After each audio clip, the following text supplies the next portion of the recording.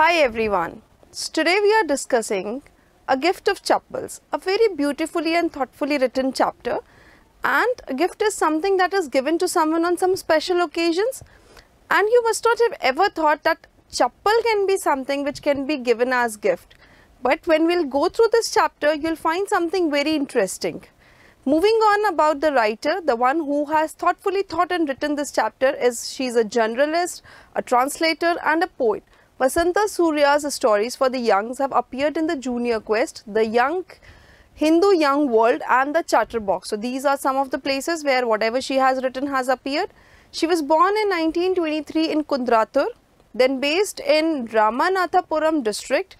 As a young girl, she was actively involved in singing and dancing. So apart from writing, singing and dancing were other activities she was involved into.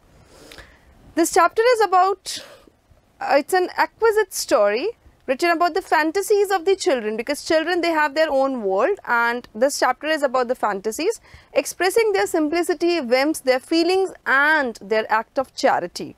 This story shows generosity and kindness of three children towards a beggar who got blisters because he didn't have a pair of slippers and walked barefoot on road in a sunny afternoon. So by now when I have read this summary, you must have known that who gifted what to whom.